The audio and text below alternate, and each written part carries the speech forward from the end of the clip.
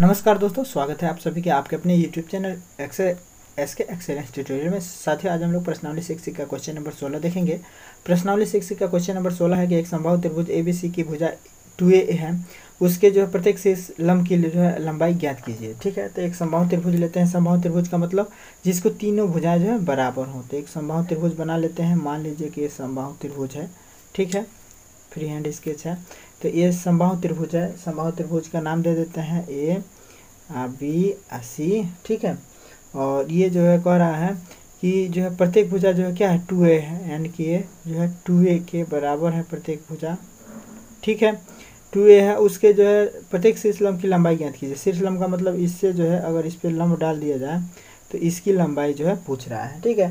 तो इसकी लंबाई जो है, अब ये लम्ब है तो जो कैसे निकालेंगे आप लोग जान ही गए होंगे। ठीक है? तो अब इसकी लंबाई निकालना है तो हम लोग जो है क्या पाइथागोरस का पर में लगा देंगे, ठीक है? अब यहाँ पे देखिए, ये जो शीर्ष जो लंब होता है ना, इसको दो बराबर बराबर भागों में विभाजित करता है, ठीक है? यानी कि अगर है टू ए है तो ए और ए भाग में विभाजित कर देगा आधा आधा, ठीक है? भाई दो ए है तो ए में विभाजित कर देगा, हैं? तो यहाँ पे हम लोग लिख देंगे, जो भी दिया है तो क्या दिया है? लिख देते हैं, दिया है कि क्या है? ए बी सी डी एक सम बाव त्रिभुज है। यहाँ पे लिख देंगे कि त्रिभुज ए बी सी एक जो है क्या है? सम बाहु है। सम बाहु है। समबाहु त्रिभुज है समबाहु है। ठीक है, और जिसकी प्रत्येक भुजा जो है क्या है? जिसकी जिसकी प्रत्येक भुजा कितनी है? तो प्रत्येक भुजा जो है टू ए है। ठीक है, इसकी प्रत्येक भुजा क्या है? टू ए है। ठीक है, और टू ए है, और जो है क्या है? तो हमने जो है ए पी जो है लम डाल दिया, ये पी बिंदु है, ठीक है?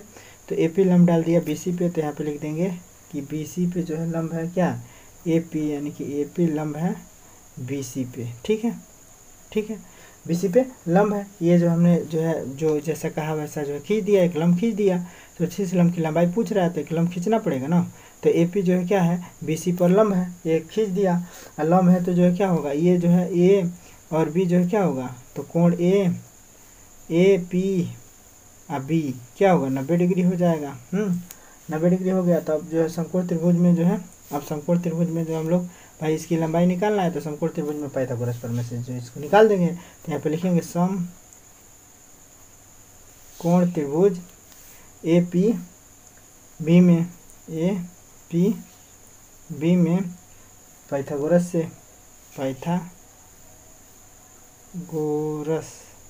ठीक है वो समझ जाएगा पाइथागोरस से। ठीक है लिख देंगे तो वो समझ जाएगा पैथागोरस परमे से। ठीक है तो पैथागोरस परमे से जो हम लोग क्या करेंगे? कर्ण पर बना वर्ग से अन्य दो भुजाओं के वर्गों के, बराबर होता है। इसके इससे जो इसको सॉल्व करेंगे तो कर्ण का बना वर्ग कर्ण पर बना वर्ग का मतलब ए बी का वर्ग ए बी का वर्ग बराबर क्या होगा? ए पी का वर्ग ए पी का वर्ग अधन पी बी का वर्ग। पी बी का वर्ग होगा ना? पैथागोरस पर में से।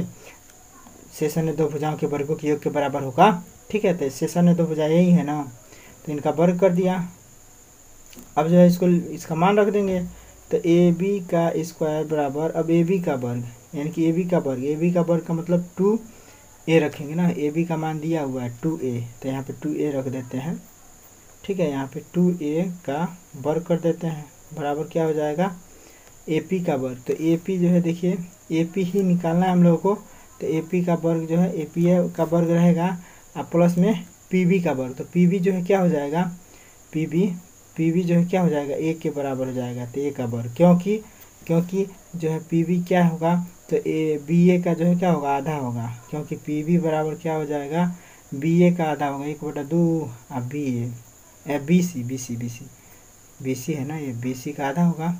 तो बी सी का आधा, चाहे बी ए का आधा, कोई का आधा है तो एक बटे दो टू ए दिया है बी का मान तो दो से कट जाएगा ए के बराबर होगा ठीक है?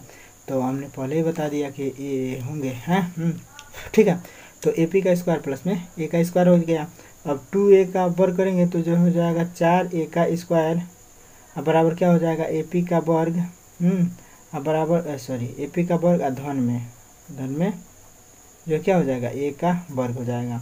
अब ए स्क्वायर इधर आ जाएगा तो फोर ए का स्क्वायर अब माइनस में हो जाएगा, ये स्क्वायर इधर आएगा तो माइनस में ए का स्क्वायर हो जाएगा, बराबर ए पी का वर्ग हो जाएगा।